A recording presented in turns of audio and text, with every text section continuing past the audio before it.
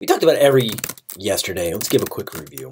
Every is a predicate in Lodash that you can throw a bunch of things and say, yo, are those bunch of things true?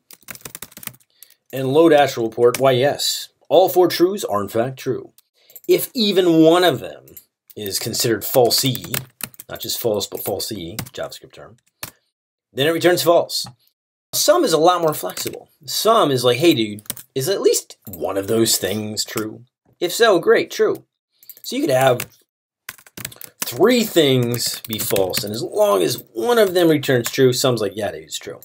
So how do we use that with predicates? With every, we determine that the main things have to be there. So let's take a gander here at a restaurant we could get from MongoDB or any NoSQL database. If it's unstructured data, it may or may not have it in there. A lot of people, myself included, treat NoSQL database as just an easier database. It's a lot easier to add data in there because you don't have to have a schema. You don't have to set up anything. You just get up and moving. But the data tends to be very similar. I'm adding restaurants to the same API, so they always have the same fields. And assuming I'm validating it, they're all going to have an ID, name, city, rating, and timestamp when they're created. However, there are times and part of the uses of NoSQL databases being unstructured is that you can port it from other places, you can parse it from different types of data, and you can even migrate it from older relational systems that don't need to be relational anymore.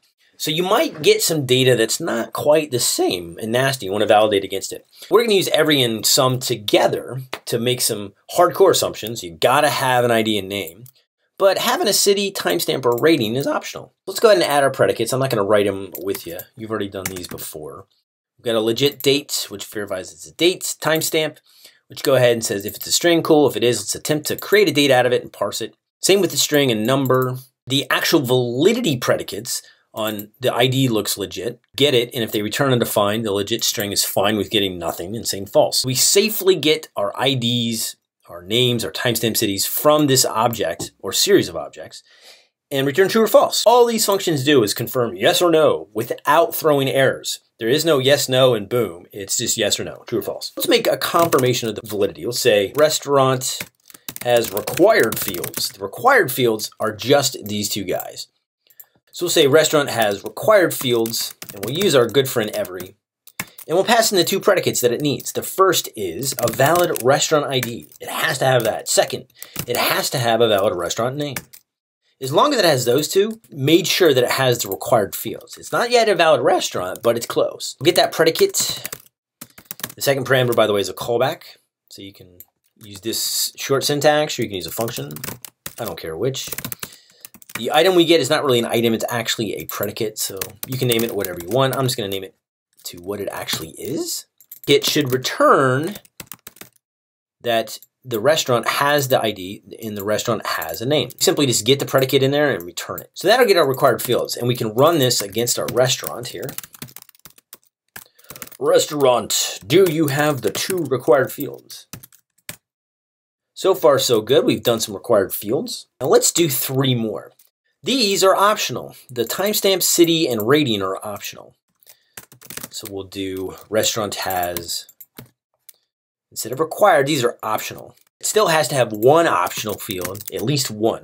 So we'll, we'll say restaurant has at least one optional fields. Some for that one because we only need one of these to return true, not all three. Copy the exact same syntax that they have, except instead of these two predicates, we're concerned with does it have a valid timestamp or does it have a valid city? Or does it have a valid rating? So we've done three predicates. Same exact way. Hey, dude, this function, which is going to be this one, this one, and this one, run all three. Run it against O and verify it has at least one of those required fields. If it has that, we're good.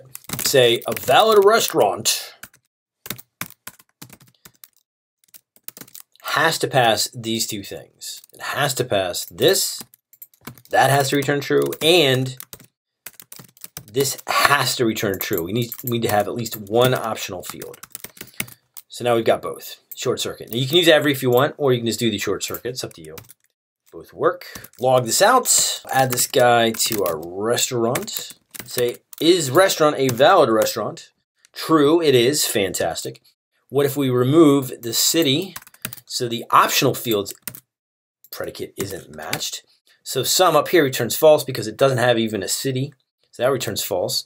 So we'll add that back and we'll change Jake's place to a blank string, which will trigger legit string not firing because it doesn't have the required length of being greater than zero, so that's false.